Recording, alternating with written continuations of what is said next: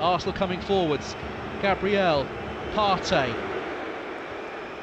Plays it back in field. Odegaard, nice football. Good save by Kaminski. Nelson tries to get the rebound. It's good defending. Barkley under pressure.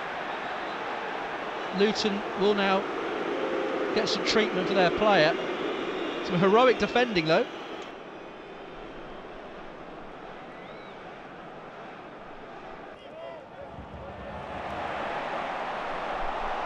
Smith Rowe did well. Odegaard onto Havertz again, looking for chance here. There's the opening goal, rifled in by Martin Odegaard, linking beautifully with Kai Havertz and Arsenal. They just needed that opportunity and they grabbed it. Yeah, it all started with Smith Rowe, didn't it? Working hard and winning the ball back in the midfield.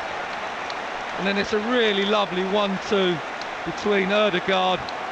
Gives the ball to Havertz, gets it on the return, and he's just got his head down, keeps his eye on the ball.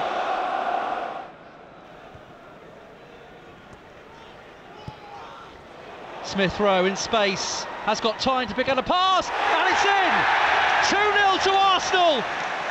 Smith Rowe delayed it, and Reiss Nelson has bundled it in from close range.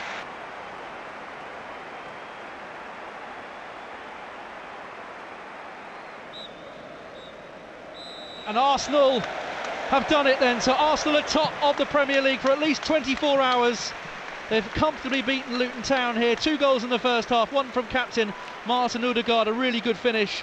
Very comfortable win, routine victory, top of the league for at least 24 hours. Arsenal 2, Luton Town nil.